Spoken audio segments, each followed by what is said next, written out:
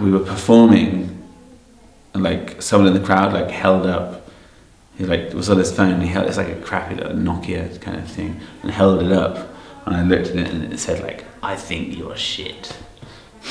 I know, I know. It's just like, come on, you didn't need to do that. like, I mean, some people would still doubt my talent. You know what I mean? I don't think you ever like you can't ever just think that you're you know you're talented. Um, but yeah, plenty of times. I said to my parents, I was like, I'm going to go and get a job.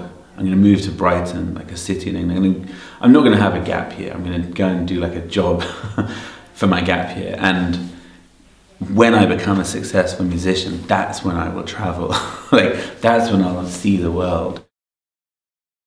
And I got a job in like a kitchen, washing dishes in uh, like pizza shop, and yeah, just worked in a kitchen. It was very boring, but I used all that time to like make like make demo CDs and give them out and try and meet people and, and yeah.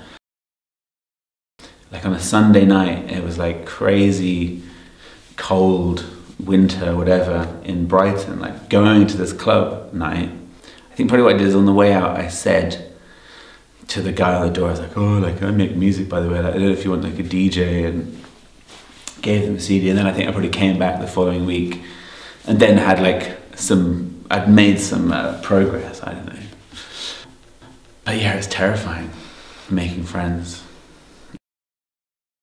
You basically, from the moment you want to do it, you start having to make decisions. Like you have to start shutting down like other things and like focusing on on the thing.